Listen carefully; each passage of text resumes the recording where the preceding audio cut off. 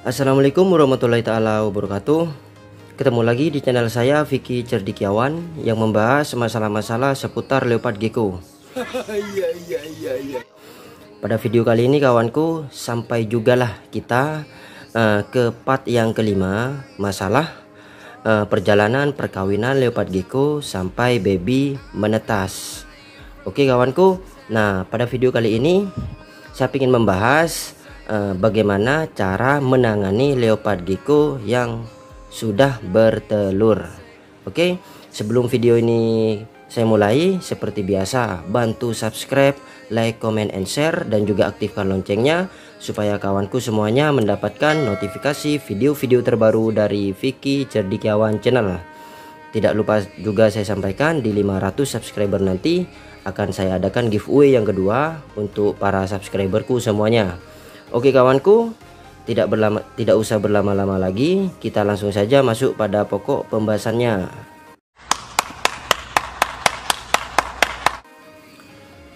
Oke kawanku, seperti biasa, kawanku sudah pastinya sudah tidak asing lagi dengan sampelnya karena sampel ini sudah masuk ke part yang kelima yaitu menangani leopard gecko yang sudah bertelur. Lah sampelnya tetap sama seperti ini kawanku. Lah untuk satu jantannya di sana hanya tersisa ball stripe saja seperti itu. Satu jantannya lagi tuh udah habis dibeli subscriber saya sendiri. Oke, lah di hadapan kawanku semuanya di sini sudah terlihat.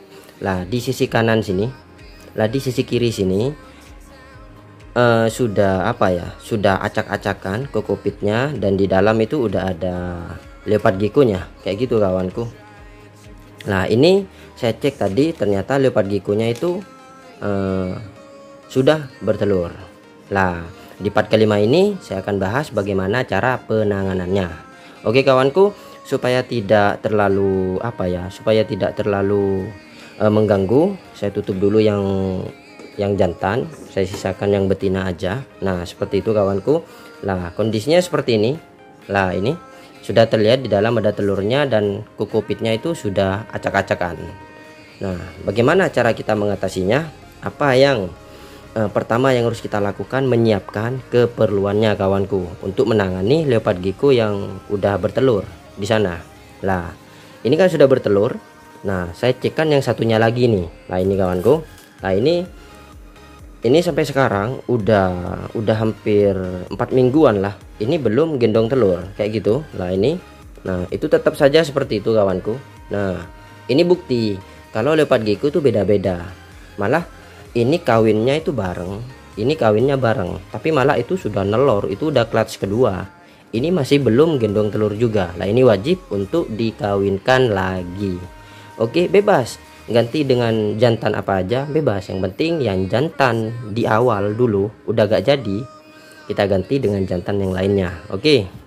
Pertama yang harus kita siapkan kawanku pastinya tempat uh, ingkup apa ya tempat menyimpan telurnya. Seperti ini. Ini ukurannya 200 ml kayak gitu. Lah di dalam ini saya pakai media perlit kayak gitu kawanku. Nah oke. Okay. nah pas yang ini ada spidol juga. Nah ini ada air juga kawanku. Nah ada air dan ada tisu. Di sini ada tisu. Nah nanti akan saya jelaskan gunanya itu apa. Ini cara saya pribadi kayak gitu kawanku. Nah kita bahas dulu ini. Ini tempat uh, kita menyimpan telurnya nanti yang akan kita masukkan ke inkubator. Sebenarnya ini bukan inkubator kawanku bukan. Ini hanya tempat kita menyimpan telurnya saja. Nah untuk ketinggian perlit banyaknya perlit kawanku bisa bisa perhatikan sendiri lah. Kalau kita e, banyak separuh di sini gak masalah. Seperti itu kawanku. Kita pakai sedikit di sini gak masalah. Asalkan kelembapannya itu pas kayak gitu ini bekas dari gecko saya yang lainnya yang udah netes tapi udah saya pakai lagi gak masalah kayak gitu. Lah kita cek dulu. Sekali lagi ini ukurannya 200 ml kayak gitu. Kalau untuk banyaknya perlit kita main feeling nggak masalah kalau yang udah jago kayak gitu kawanku. Kalau yang masih awal-awal perlit ini bisa ditimbang. Katakanlah perlitnya ini beratnya eh, uh, 25 gram airnya kasih 30 kayak gitu airnya kasih 30 gram. Lalu kita ya kocok-kocok aja. Kocok-kocok kayak gitu kawanku. Oke? Sudah paham untuk masalah penyimpanan telurnya nanti? Kayak gitu lah. Saya sendiri seperti ini. Oke? Lah pertama kita cek dulu karena ini bekas. Nah, ketika saya cek ini kurang lembab kawanku, masih agak kering. Nah, masih agak kering. Kita basah aja. Kalau yang masih awal pakai timbangan nggak masalah. Kalau yang udah uh, terbiasa itu hanya pakai feeling aja. Lah, jangan terlalu banyak kawanku. Nah, seperti itu. Wis kita kocok-kocok aja seperti ini. Kita kocok-kocok aja. Lah, kita cek apakah sudah lembab apa belum kayak gitu lah di tangan saya ini kawanku bagi saya kurang sebenarnya kurang lembab lah perhatikan jangan terlalu lembab jangan terlalu kering seperti itu takutnya kalau kalau terlalu lembab uh, apa tuh namanya itu? Telurnya itu akan busuk. Seperti itu kawanku. Nah oke. Okay? lah seperti ini. Nah kita kita ratakan dulu kawanku. Nah nah seperti ini. Ini yang harus pertama yang harus kita siapkan ininya dulu tempat penyimpanannya. Nah oke okay, kawanku. Nah seperti ini. Ini sudah cukup lembab lah. Seperti itu untuk cara saya sendiri. Sudah cukup lembab. Tapi jangan lupa kita buat uh, jegongan dulu di sini biar tempat telurnya nanti enak kita naruhnya nah kita buat jegongan seperti ini. Jangan terlalu dalam lah. Yang penting telur itu gak gerak-gerak kawanku. Oke sudah selesai. Kita taruh dulu. Nah kita atasi leopard gecko yang sudah bertelur. Nah ini biar saya pindah dulu kawanku di sini. Nah kita atasi yang ini dulu. Oke nah ini penampakannya leopard gecko yang sudah nelor. Ini saya buka aja ya. Nah ini pastinya ini pasti udah langsung kotor kayak gini kawanku. Kalau leopard gecko nah itu terlihat ini belum saya sentuh sama sekali. Belum ada sentuhan sama sekali kawanku. Itu telurnya sudah terlihat ada dua. Nah cobalah kita ambil leopard gikonya yang akan saya jelaskan dulu. Nah ini yang dimaksud saya. Ini udah ngeklatch kedua badannya aja udah habis jadi kenapa saya menyuruh kawanku semuanya untuk tingkatkan nutrisi porsi leopard giko betina yang sedang hamil? Logikanya ibarat orang ngejim sekawanku seperti itu. Logikanya kawanku ibarat orang nge-gyms seperti itu. Kalau orang nge-gyms itu pastinya makannya itu banyak karena dia itu mau membentuk ototnya. Kalau orang nge-gyms itu makannya agak banyak pasti bukan membentuk otot tapi malah ototnya sendiri yang akan habis. Ibarat leopard giko ini. Nutrisinya ditingkatkan makannya juga ditingkatkan karena dia butuh uh, apa ya butuh tenaga ataupun butuh nutrisi untuk membentuk telurnya. Oke? Itu penjelasan dari saya masalah leopard gecko betina yang sedang hamil. Eh yang sedang gendong telur ataupun hamil lah. Oke kita taruh aja dulu. Nah kita taruh di sini. Nah ini penampakan telurnya. Oke. Nah seperti itu. Lah yang pertama kita lakukan kawanku kita bersihkan aja dulu telurnya ini. Nah inilah tidak apa-apa gini aja. Nah ini kawanku. Ini telurnya bagus. Nah kita bersihkan. Kita bersihkan. Nah seperti ini. Nah sampai ya jangan terlalu bersih lah. Saya izin sebentar kawanku untuk meniupnya ya. Nah ini udah penampakan telurnya yang pertama. Kayak gitu kawanku. Nah oke. Okay. nah ini telurnya. Kalau saya sih bebas. Telur itu terbolak-balik kawanku. Kata siapa gak netes. Saya dari dulu selalu netes. Kayak gitu malah uh, untuk busuk ataupun gak netes itu 9 band eh 8 banding 2 lah. Lebih banyak yang netes. Nah setelah kita bersihkan seperti ini kawanku saya akan ambil dulu tempatnya yang tadi. Nah seperti ini. Nih saya putar-putar bebas gimana aja. Tetap netes kawanku. Kita taruh di sini. Nah posisinya jangan terlalu uh, ngedalem banget. Seperti itu kawanku. Kita rapikan di pinggirnya sini. Nah kita rapikan. Yang penting telur ini gak goyang-goyang. Oke ini yang pertama. Kita taruh dulu. Kita ambil lagi yang kedua. Ini kawanku. Nah seperti biasa kita bersihkan dulu kalau telur ini kawanku wajib kita jaga. Karena apa? Ini aja kalau kita bener-bener ingkupnya ini udah nambah dua ekor. Kayak gitu. Izin untuk tiup kawanku ya oke? Nah ini. Ini telur yang kedua. Kita taruh di di sini kawanku. Nah ini. Kita taruh aja gini. Nah ini. Ini kawanku. Nah kita ratakan pinggirnya awas. Perlitnya jangan terlalu basah jangan terlalu kering. Yang penting sedang saja yang penting lembab aja kayak gitu. Karena ini nanti oleh saya akan diingkub di inkubator betina. Seperti itu. Oke kawanku. Jadi kalau di inkubator betina itu eh, kualitas air kelembabannya itu saya kurangi tapi ya tetap lembab. Kalau pas di inkubator betina kan suhunya dingin. Kalau saya ingkub pas ininya ini terlalu basah adanya ini busuk telurnya ini akan busuk. Kayak gitu kawanku. Oke? Nah setelah itu seperti biasa. Nah kalau sudah seperti ini kawanku lah apa gunanya tisu tadi? Kata saya itu. Lah saya pakai tisu ini kawanku. Nah seperti ini. Ini cara saya. Tapi alhamdulillah dari dulu saya gak mendapati leopard gecko itu busuk yang terlalu banyak gak ada. Lah ini tisu. Seperti ini kawanku. Tisunya seperti ini. Oke? Akan saya pindah dulu sebentar. Izin Nah supaya kawanku bisa melihat. Nah ini kawanku Posisinya ada di bawah. Tisu ini saya giniin. Nah kalau saya cara saya pribadi. Lalu saya tutup gini.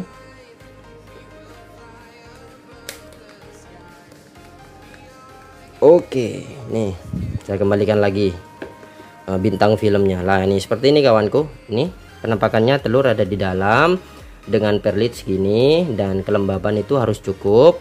Untuk kawanku yang pemula bisa ditimbang apabila perlitnya ini 25 gram airnya kasih 30 gram saja. Oke? Nah apa gunanya tisu ini kawanku? Di dalam saya selama ini mengingkup uh, telur leopard gecko. Uh, manfaatnya sangat banyak sekali menghindari busuk pada telur ini banyak sekali.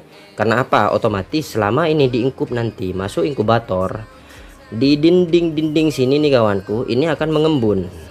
Akan mengembun. Nah pastinya kalau gak ada tisu ini ya di sini juga akan ngembun. Ngembun kecil kecil kecil kecil banyak lalu bergabung jadi satu itu akan menciptakan tetesan air terhadap telurnya. Syukur-syukur netesnya itu syukur-syukur netesnya itu kawanku gak netes ke telurnya. Kayak gitu. Nah, netes ke pinggirnya aja. Katakanlah seperti ini syukur kalau pak netes ke telurnya udah busuk dah. Jaminan udah busuk kawanku lah. Gunanya tisu ini meredam embun sebenarnya. Embun nanti yang akan lari ke atas sini lah, lah akan ke atas sini ini akan direndam akan diserap oleh tisunya. Jadi gak bakalan netes ke uh, telurnya Apabila kawanku ada yang bertanya, Bang, kalau netes gimana? Kan nggak ketahuan, kan nggak kelihatan dari atas.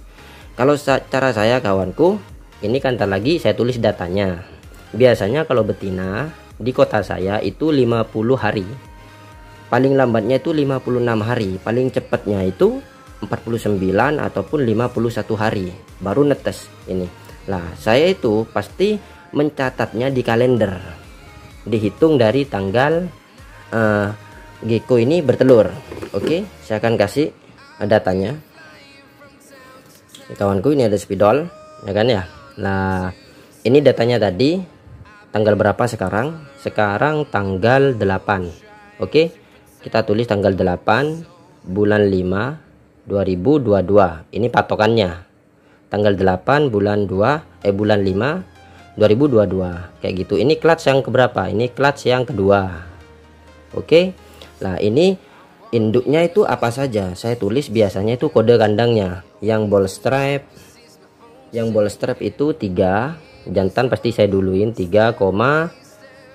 Eh, nah, seperti ini kawanku. Nah, ini datanya. Ini yang kelas pertama tadi, yang kelas pertama di part keempat. Nah, ini sama kan? Itu datanya ini memang sebagai contoh saja gak saya kasih tisu? Tadi udah saya buka. Lah ini ini datanya kayak gitu. Nelurnya tanggal ini kodenya ini bapak ibunya kelasnya yang kedua. Kapan saya uh, tahu ini akan netes? Kayak gitu kawanku. Dihitung 53 hari dari tanggal dia nelor. Kayak gitu. Lah nanti dekat-dekat 53 hari ataupun 50 hari ini saya buka tisunya. Karena ini udah hampir netes. Lah udah hampir netes kan? Yang jelas kayak gitu. Jadi saya buka tisunya. Jadi ketika saya ngingkup uh, melihat inkubator ini kan kelihatan telurnya itu. Netes apa enggak? Itu cara saya. Oke kawanku. Lah inilah uh, cara menangani leopard gecko yang sudah bertelur. Oke? Lah seperti ini caranya. Tisu ini gunanya untuk apa ini ukurannya 200 mili. Nah perlitnya kalau untuk yang udah jago pakai filling nggak masalah. Kelembabannya pakai filling nggak masalah. Jangan terlalu kering jangan terlalu lembab banget seperti itu oke? Okay? Nah mungkin ya hanya ini kawanku uh, cara menangani leopard gecko yang sudah bertelur. Jangan lupa hargai genetik leopard gecko. Data bapak ibunya harus ada clutchnya juga. Ini tanggal dia nelornya nanti dekat-dekat 50 hari ataupun 49 hari kita tisunya buka aja. Lah jadi kita ketika kita itu ngecek kita itu tahu dia netes apa belum. Kalau kayak gini kan nggak tahu. Kan kasihan dia lama-lama di dalam di dalam sini kawanku. Oke? Nah seperti ini penampakannya. Kalau saya mengingkup dulu dulunya saya pakai kertas di sini kawanku. Tapi ya wis saya males nulisnya. Jadi saya wis pakai spidol yang bukan permanen aja jadi nanti tinggal dihapus nih kalau udah netes. Kayak gitu. Oke?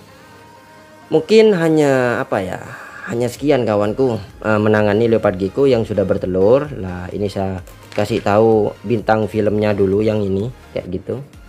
Nah cara menanganannya seperti ini. Lah seperti inilah penampakannya. Oke? Nah ini kelas 1 dan kelas kedua. Ini kelas 1 yang yang waktu itu saya katakan saya itu teledor. Ini tetap saya ingkup entah ini uh, jadi apa tidak saya tidak tahu kawanku. Nah ini kalau dari posisinya sih kalau memang ini terus bagus ini akan jadi. Tapi menurut saya ini gak bakalan jadi karena udah nelor di luar. Yang clutch pertama. Lah yang clutch kedua ini insya Allah ini akan jadi. Kayak gitu karena penampakannya seperti tadi. Oke beginilah cara inkubas uh, cara penyimpanannya untuk OTW menuju inkubator dan OTW menetas Oke, selanjutnya nanti ketika ini sudah netas ataupun saya akan upload perkembangannya, perkembangan pertumbuhan embrio di dalam ini. Kelas 1, kelas 2 saya akan upload terus untuk kawanku semuanya. Oke. Nah, saya akan kembalikan ke bintang filmnya dulu. Mungkin kawanku hanya sekian cara menangani leopard gecko yang sudah bertelur. Oke, kurang lebihnya saya mohon maaf. Semoga cara saya bisa bermanfaat untuk kawanku semuanya. Uh, sebelum video ini saya akhiri, tidak ada salahnya kawanku semuanya bantu subscribe, like, comment, and share dan juga aktifkan loncengnya supaya kawanku semuanya mendapatkan notifikasi video-video terbaru dari Vicky Cerdikawan Channel. Salam pencinta Giko Jawa Timur. Assalamualaikum warahmatullahi taala wabarakatuh.